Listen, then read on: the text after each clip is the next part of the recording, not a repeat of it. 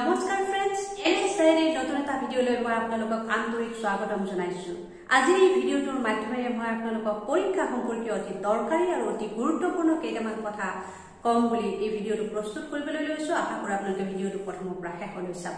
Friends আপুনি যদি নতুন মোৰ চেনেলত তেতিয়াহ'লে চেনেলটো ছাবস্ক্ৰাইব কৰি বেল আইকনটো অন কৰি ৰাখিব যাতে মই আপোনালোকক এনেকুৱা গুৰুত্বপূৰ্ণ কথাসমূহ ভিডিঅ' আপলোড কৰিলে আপোনালোকে ভিডিঅ'সমূহ পায় আৰু চিধাই ভিডিঅ'সমূহ চাই আপোনালোকে লাভ উঠাব পাৰে। ফ্ৰেণ্ডছ সামাজিক মাধ্যমত আপোনাৰ এই ভনীজনীক ফ'ল' কৰিবৰ কাৰণে ডেছক্ৰিপশ্যন বক্সত মই আপোনালোকক মোৰ ফেচবুক ইনষ্টাগ্ৰামৰ লিংক দি দিছোঁ আপোনালোকে মোক ফ'ল' কৰিব পাৰে আৰু আপোনালোকৰ বিভিন্ন পৰীক্ষা সম্পৰ্কীয় বা বিভিন্ন কিছুমান প্ৰশ্ন থাকিলে আপোনালোকে মোক ইনষ্টাগ্ৰামত বা মেছেঞ্জাৰত কৰিব পাৰে। মই আপোনালোকক নিশ্চয় সেই উত্তৰসমূহ দিবলৈ চেষ্টা কৰিম। আপোনালোক বহু বন্ধুৱে মোক ভিডিঅ'ৰ তলত বিভিন্ন কমেণ্ট কৰি বিভিন্ন সমস্যাৰ কথা মোলৈ লিখিছিল আৰু মই সেই সমস্যাসমূহৰ উত্তৰ হিচাপে আজি কেইটামান কথা আপোনালোকক ক'ব বিচাৰিম আৰু পৰীক্ষাৰ বাবে অতি দৰকাৰী কেইটামান দিশ মই আপোনালোকক আজি এই ভিডিঅ'টোৰ জৰিয়তে অনুকিয়াই দিম ফ্ৰেণ্ডছ বহু প্ৰতীক্ষাৰ অন্তত আপোনালোকে এডমিট কাৰ্ড পাবলৈ সক্ষম হ'ল লগতে পৰীক্ষালৈ মাত্ৰ আৰু ছটা দিন বাকী। এই ছটা দিনত আপোনালোকে কেনেদৰে অধ্যয়ন কৰিলে আপোনালোকৰ সময়খিনি কামত লাগিব?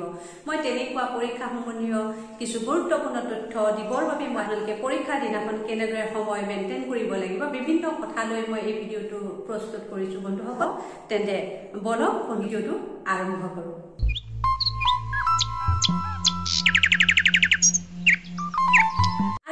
ভিডিঅ'টোৰ আৰম্ভণিতে মই আপোনালোকক ক'ব বিচাৰোঁ অ' এম আৰ চিট? এই অ' এম আৰ চিটখনৰ সম্পৰ্কে মই আপোনালোকক ইয়াৰ আগত এটা ভিডিঅ' প্ৰস্তুত কৰি দিছিলোঁ। আপোনালোকে সেই ভিডিঅ'টো চাব পাৰে তাত উল্লেখযোগ্য কিছুমান কথা কৈছিলোঁ আৰু সেই কথাখিনি ফ'ল' কৰিলে আপোনালোকে লাভৱান হ'ব। তাৰোপৰি মই আজি আকৌ ক'ব বিচাৰোঁ যে অ' এম আৰ চিটখন এই চিটখন বহুতেই ফুল ফিল আপ কৰিব নাজানে। যাৰ বাবে পৰীক্ষাৰ দিনাখন আপোনালোকৰ কিছু গণ্ডগোল হোৱাৰ সম্ভাৱনা আছে আৰু আপুনি হয়তো শুদ্ধ উত্তৰ লিখিলেও ফেইল কৰিব পাৰে। বন্ধুসকল অ' এম আৰ চিটখন আপোনালোকে অতি সাৱধানে ফুল ফিল আপ কৰিব লাগিব। আৰু অ' এম আৰ চিটখন কেনেদৰে ফুল ফিল আপ কৰিব লাগিব সেই সম্পৰ্কে আপোনালোকে এইকেইদিনত ঘৰতে অলপ অনুশীলন কৰক। মই আপোনালোকক ইয়াৰ আগৰ ভিডিঅ'ত ডেছক্ৰিপশ্যনত সেই অ' এম আৰ চিটখনৰ লিংক দিছিলোঁ আপোনালোকে তাতেই সেই ভিডিঅ'টোলৈ গৈ লিংকটোত গৈ কম্পিউটাৰ দোকানত ডাউনলোড কৰি সেই অ' এম আৰ চিটখন ঘৰলৈ লৈ আনক আৰু আপোনালোকে ঘৰত এইকেইদিন অ' এম আৰ চিটখন কেনেকৈ গোল কৰিব লাগে অ' এম আৰ চিটখন ৰোল নাম্বাৰ বুকলেট নাম্বাৰ ক'ত কেনেদৰে বহুৱাব লাগে আপোনালোকে ঘৰত নিৰীক্ষণ কৰিব পাৰে এইকেইদিনত।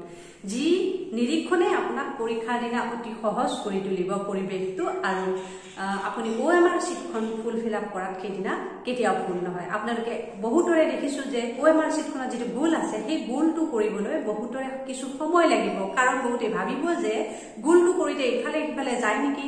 সেই ইফালে সিফালে নাযাবৰ বাবে বহুতে লাহে লাহে গোলটো কৰিব যাৰ বাবে সময় বেছিকৈ ল'ব। যিহেতুকে বন্ধুসকল পৰীক্ষাৰ দিনাখন যিহেতুকে আঢ়ৈ ঘণ্টা সময় আঢ়ৈ ঘণ্টা সময়খিনিত আপোনালোকে ডেৰশটা প্ৰশ্ন মেনেজ কৰিব লাগিব সেইবাবে গোলটোত বেছি সময় আপোনালোকে অপচয় কৰিব নোৱাৰে। যাৰ বাবে ঘৰতে এইকেইদিন আপোনালোকে অ' এম আৰ চিট এখন কম্পিউটাৰ দোকানত গৈ জেৰক্স দোকানত গৈ আপোনালোকে জেৰক্স কৰি প্ৰিণ্ট আউট কৰি সেই কপিটো লৈ আনি ঘৰত আপোনালোকে এইকেইদিন অনুশীলন কৰক। কেনেদৰে অ' এম আৰ চিটখন ফুল ফিল আপ কৰিব পাৰে? ইয়াৰ যোগেদি আপোনালোকে গোলটো কৰাত সৰ হ'ব। দ্বিতীয়তে সেই বুকলেট নাম্বাৰ ৰোল নাম্বাৰ ক'ত কেনেকৈ বহুৱাব লাগে সেইখিনি আপোনালোকে নিৰীক্ষণ কৰাত সহজ হ'ব। তেনেহ'লে মই আপোনালোকে যদি বিচাৰে মই ডেছক্ৰিপশ্যন বক্সত লিংকটো দি দিম। আপোনালোকে তাৰ পৰা গৈও অ' এম আৰ চিটখন আপোনালোকে ডাউনলোড কৰি ল'ব পাৰে আৰু তেনেদৰে এইকেইদিন অ' এম আৰ চিটখন আপোনালোকে ঘৰত বেছি বেছি ফ'ল' কৰিব।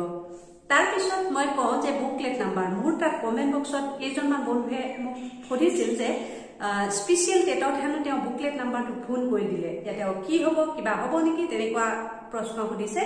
মই জনাত যিখিনি আপুনি বুকলেট নম্বৰটো ভুল কৰিলে আপুনি যদি মোৰ ভিডিঅ'টো চাই আছে ইয়াৰ মাধ্যমেদি আপুনি উত্তৰটো পাব যে চিটখন আমাৰ যিহেতুকে এটা মেচিনে স্কেনিং কৰে ইয়াৰ সেই আপোনাৰ সেই অ' এম আৰ চিটখন স্কেনিং কৰিব শুদ্ধ উত্তৰ উলিওৱাৰ কাৰণে তেতিয়া আপোনাৰ আপোনাৰ বুলি কেণ্ডিডেটৰ অ' এম আৰ চিটখনৰ অপজিটে বুকলেট নাম্বাৰটো স্কেনাৰ মেচিনত কম্পিউটাৰত মাৰিব লাগে আৰু সেই বুকলেট নম্বৰৰ অপজিটে আপোনাৰ অ' এম আৰ চিটখন স্কেনিং হয়।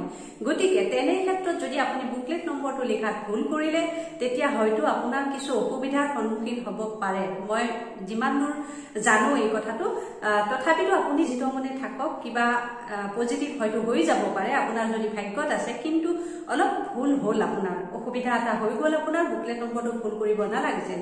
সেইবাবে আগন্তুক টেট পৰীক্ষাৰ্থীসকলক মই এইটো ক'ব বিচাৰিম যে আপোনালোকে যাতে এনেধৰণৰ ভুল কৰি আপোনাৰ জীৱনটো বৰবাদ নকৰে ইমানখিনি পঢ়াৰ সময় আপোনালোকে নষ্ট কৰি যিখিনি অধ্যয়ন কৰি আছে সেই অধ্যয়নখিনি যাতে অথলে নাযায় তাৰ বাবে আপোনালোকে পৰীক্ষাৰ দিনাখন অ' এম আৰ চিটখন ফুল ফিল আপ কৰাত অতি সাৱধান হ'ব লাগিব। তেন্তে বন্ধুসকল ইয়াৰ পিছৰ ষ্টেপটো লৈ গৈছো। মই আপোনালোকক ক'ব বিচাৰিম যে নিৰ্দিষ্ট পৰীক্ষাৰ দিনটোত আপোনালোকে সময় কিদৰে মেইনটেইন কৰিব।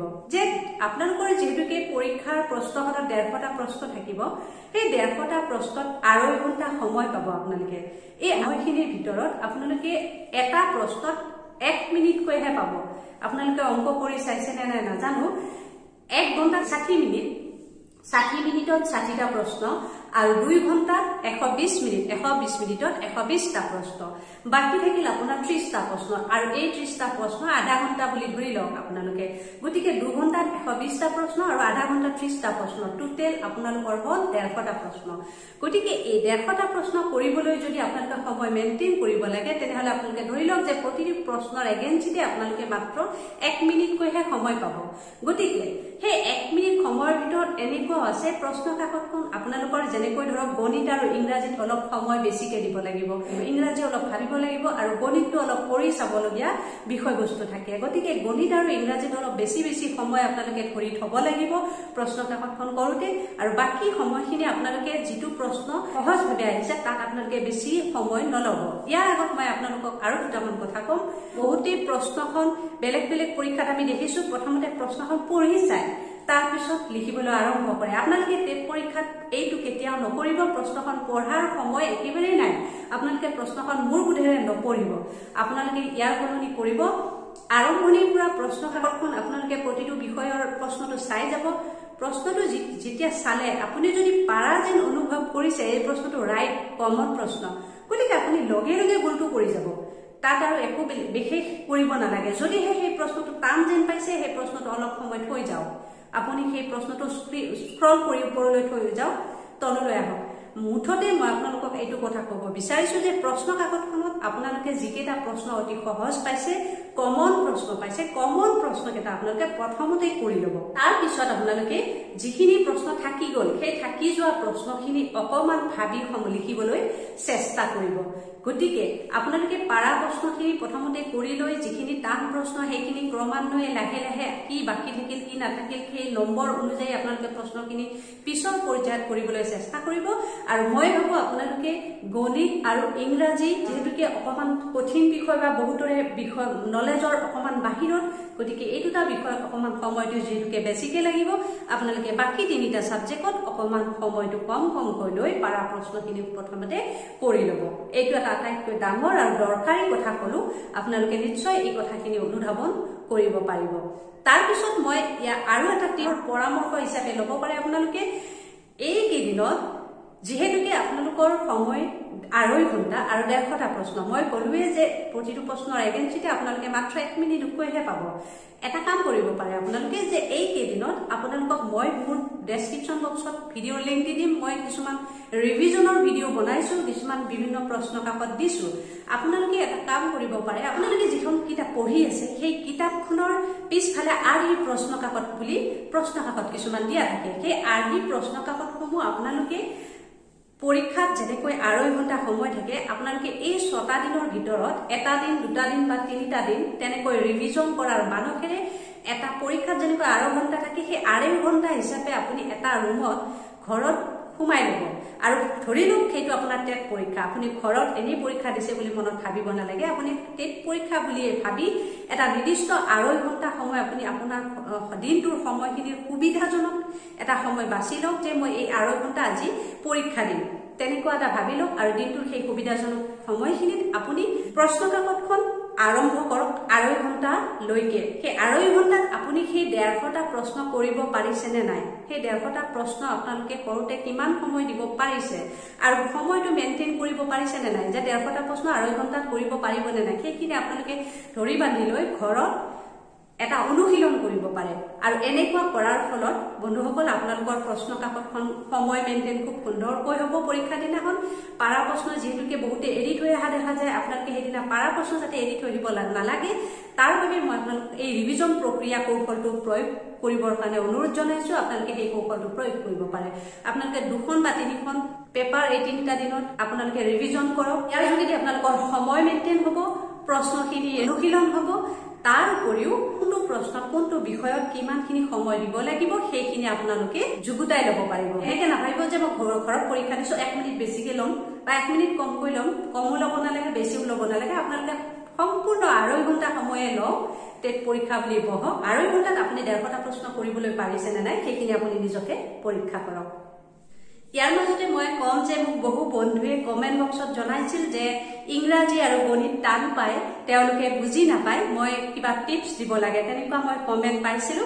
বন্ধুসকল সেইসকল বন্ধুক মই এইখিনি কথা ক'ব বিচাৰিম যে তেওঁলোকৰ উদ্দেশ্যে মই এটা ভিডিঅ' বনাইছিলো। আপোনালোকে মোৰ চেনেলৰ গোটেইকেইটা ভিডিঅ' চেক কৰিলে আপোনালোকে নিশ্চয় এই আপোনালোকৰ যিখিনি উত্তৰ সেই উত্তৰখিনি আপোনালোকে পাই যাব। তথাপিতো মই আজি এই ভিডিঅ'টোৰ যোগেৰে অকণমান ক'ব বিচাৰিম আপোনালোকে যিসকলে ইংৰাজী বা গণিত টান পায় কোনোবাই ইংৰাজী একেবাৰে বুজি নাপায় কোনোবাই গণিত একেবাৰে নোৱাৰে গতিকে তেওঁলোকৰ কাৰণে পৰামৰ্শ বিচাৰিছে। আপোনালোকে প্ৰশ্নখন কাকতখনত আপোনালোকে যিখিনি প্ৰশ্ন কৰিলে বাকী ধৰক আপুনি গণিত টান পায় বাকী চাৰিটা বিষয় আপোনালোকে আপুনি যিহেতুকে কৰিলে সেই চাৰিটা বিষয়ত বেছিকৈ কোনটো অপশ্যন আহিছে সেইটো আপুনি লক্ষ্য কৰিব। প্ৰশ্ন কাকতখনত কোনটো অপশ্যন বেছিকৈ শুদ্ধ ৰূপত আপোনাৰ লাগিছে বা শুদ্ধ ৰূপ আহিছে সেইমতে আপুনি সেই টান পোৱা বিষয়টোৰ অপশ্যন কেইটা তেনেকৈ আপুনি ধৰি ল'ব পাৰে যে এইটো অপশ্যন যিহেতুকে বাকী ছাবজেক্ট কেইটা বেছিকৈ লাগিছে ইয়াতো তেনেকৈ দিয়াটো ভাল হ'ব। আৰু গণিতত মই ক'ব বিচাৰিম গণিত বা ইংৰাজীত আপুনি একেবাৰে বুজি নাপালেও পাঁচটা প্ৰশ্ন হ'লেও নিশ্চয় পাৰিব। আপুনি পাঁচটা প্ৰশ্ন যদি পাৰে সেই পাঁচটা প্ৰশ্নত আপুনি কি অপশ্যন মানে কমন হৈছে সেইটো চাই ল'ব। গতিকে সেই পাঁচটা প্ৰশ্নৰ কমন ধৰক যদি চি হৈছে তেতিয়াহ'লে চাই ল'ব যে চিটো হোৱাৰ চান্স আছে নেকি। তেনেকৈ আপোনালোকে অকণমান নিজৰ ব্ৰেইন খটুৱায়ো ইংৰাজী বা অংকত যদিও টান পায় আপোনালোকে মই ভাবোঁ দহ বাৰ নম্বৰ পোন্ধৰ নম্বৰ পাবলৈ নিশ্চয় সক্ষম হ'ব। তথাপিতো মই কওঁ ইয়াৰ আগৰ ভিডিঅ'টোত বিস্তৃতভাৱে মই বৰ্ণনা কৰি থৈছোঁ সেইকেইটা ভিডিঅ' আপোনালোকে চাব। নিশ্চয় অতি ভালদৰে বুজি পাবলৈ সক্ষম হ'ব। ফ্ৰেণ্ডছ আৰু এটা অতি দৰকাৰী আৰু উল্লেখযোগ্য কথা ক'ব বিচাৰিম। আপোনালোকে বহুতেই কৈ আছে যে মেম মোৰ ভয় লাগিছে। ভয় খাই আছো পৰীক্ষা বুলি কি হ'ব? মানসিক চাপ বৃদ্ধি পোৱা বুলি তেনেকুৱা কিছুমান কমেণ্টত মোক জনাইছিল। মই আপোনালোকক এই ভিডিঅ'টোৰ মাধ্যমেৰে ক'ব বিচাৰিম ফ্ৰেণ্ডছ যো ডৰ গেয়া গো মৰ গেয়া। চ'চ লিজিয়ে এ চা। সঁচাকৈ কৈছোঁ যিয়ে ভয় খায় সিয়ে মৰি যায়। আচলতে ভয় খাব নালাগে। আপোনালোকক মই এটা কথাই কৈছোঁ যে আপোনালোকে নিগেটিভ চিন্তাধাৰা ভয় আৰু মানসিক চাপ এই তিনিটা বস্তু আপোনালোকে পৰিহাৰ কৰি চলিব লাগিব এইকেইদিনত আৰু পৰীক্ষা দিনটোতো। এইখিনি কথা ক'লো। যদি আপোনালোকে এই তিনিটা বস্তু পৰিহাৰ কৰিব নোৱাৰে তেতিয়াহ'লে আপোনালোকে পৰীক্ষা দিবলৈ গৈ লাভ নহ'ব। মই এইটোৱে কৈছোঁ। গতিকে মানসিক চাপ কিয় ল'ব লাগে? আপুনি কওকচোন বাৰু কিহৰ কাৰণে মানসিক চাপ ল'ব লাগে? যিটো মানসিক চাপ আপুনি লোৱাৰ ফলত ৰাতি আপোনাৰ টোপনি নহ'ব। ৰাতি যেতিয়া টোপনি নহ'ব আপোনাৰ দিনটো পিছদিনা গাটো বেয়া লাগি থাকিব যাৰ বাবে আপোনাৰ পঢ়িবলৈ মন নাযাব। আৰু পঢ়িবলৈ জোৰকৈ পঢ়িবলৈ বহিলেও কি হ'ব? আপোনাৰ যিহেতুকে ব্ৰেইনত এটা মানসিক চাপ আছে আৰু টোপনি আপোনাৰ কম হৈ আছে গা বেয়া লাগি আছে এনেকুৱা ফলত আপোনাৰ নিশ্চয় পঢ়া নহ'ব আৰু পঢ়িলেও আপোনাৰ ব্ৰেইনে ঢুকি নাপায় সেইবিলাক। তেনেকুৱাহে হ'ব। এতিয়া লছটো কাৰ হ'ল? আপোনাৰ নিজৰে হ'ল। গতিকে মানসিক চাপ লৈ যদি আপোনাৰ ক্ষতি হয় তেনেহ'লে সেই ক্ষতি হোৱা বস্তুটো কিয় ল'ব লাগে আপুনি? কওকচোন বাৰু। তাতকৈ আপুনি সাহস লওক মনত যৌজ লওক। আৰু এটা কথা বন্ধুসকল মই কওঁ বহুতেই কৈ আছে যে দুই হাজাৰ বাৰ চনত টেট পাছ কৰা বিষয়লৈ যেতিয়া সন্দৰ্ভত কথাটো ওলায় বহুতেই কয় দুই চনত হেনো সহজ প্ৰশ্ন আহিছিল বহুতেই কয় দুই সহজভাৱে পাছ কৰিছিল মেম এতিয়া আৰু দুই হাজাৰ একৈছত নহ'ব। আৰু কিছুমানেতো অলপ নিগেটিভ অলপ বেয়াকৈও কমেণ্ট কৰিছে। আচলতে সেইটো সেইটো কথা নহয় মই তেওঁলোকক ক'ব বিচাৰিম আপোনালোকে এইকেইদিনত দুই হাজাৰ বাৰৰ সেই প্ৰশ্ন কাকতখনে লওকচোন। দুই হাজাৰ বাৰৰ সেই প্ৰশ্ন কাকতখন লৈ ডেৰশটা প্ৰশ্ন ঘৰত আবদ্ধ হৈ লওক। দুৱাৰ খিৰিকী মাৰি সেই ডেৰশটা প্ৰশ্ন আপুনি ঘৰত কৰিবলৈ চেষ্টা কৰকচোন। নোচোৱাকৈ কিমানটা পাৰে? আপুনি পাছ কৰিব পাৰিব নেকি? আপুনি এবাৰ নিজকে পৰীক্ষা কৰক। যিসকলে এনেকুৱা কমেণ্টেৰে মোক হেৰি কৰিবলৈ চেষ্টা কৰিছিল মই তেওঁলোকক কৈছোঁ দুই হাজাৰ বাৰ চনৰ সেই প্ৰশ্ন কাকতখন আপুনি ঘৰতে দুৱাৰ খিৰিকী মাৰি বহক নিজে লিখিবলৈ চেষ্টা কৰক ক'তো নোচোৱাকৈ। নিজৰ ব্ৰেইনেৰে লিখিবলৈ চেষ্টা কৰক আপুনি কিমান পাৰ্চেণ্টেজ পায় কিমান নম্বৰ পায় আপুনি পাছ কৰিব নেকি নিজে অনুভৱ কৰক এবাৰ পৰীক্ষা কৰক। তাৰপিছত ক'ব যে দুই হাজাৰ বাৰ চনৰ সহজ প্ৰশ্ন হৈছিল গতিকে ট্ৰেফিক চাপ আপোনালোকে একেবাৰে নল'ব তাৰ সলনি সাহস লওক মনত যৌজ লওক আৰু ইতিবাচক মনোভাৱেৰে আপোনালোকে অন্ততঃ ছটা দিন ভালকৈ অনুশীলনটো কৰক ৰিভিজন কৰক তাৰপিছত নিশ্চয় আপোনালোকৰ ফলাফল ভালেই হ'ব। মই মোৰ ফালৰ পৰা নেদেখাজনৰ ওচৰত অত্যন্ত প্ৰাৰ্থনা জনাইছো। আপোনালোক সকলোৱে পৰীক্ষাত সফল হওক সকলোৰে পৰীক্ষা ভাল হওক।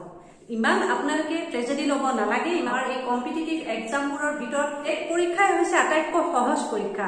আৰু টেট পৰীক্ষাই হৈছে আটাইতকৈ ল'ৰা ছোৱালীৰ কাৰণে মই ভাবো পাছ কৰিব পৰা বিধৰ এটা পৰীক্ষা। কিয়নো পৰীক্ষাত আপোনালোকৰ কোনো ধৰণৰ নিগেটিভ মাৰ্ক নাথাকে। এইটো আপোনালোকৰ কাৰণে আমাৰ সকলোৰে কাৰণে বহুত পজিটিভ কথা। বাকী পৰীক্ষাবিলাক বেছিভাগ পৰীক্ষাতে নিগেটিভ মাৰ্ক থাকে। নিগেটিভ মাৰ্ক থাকিলে কি হয় আপুনি কনফাৰ্ম নোহোৱা বস্তুটো আপুনি এৰি থৈ আহিব লাগিব লিখিব নোৱাৰে।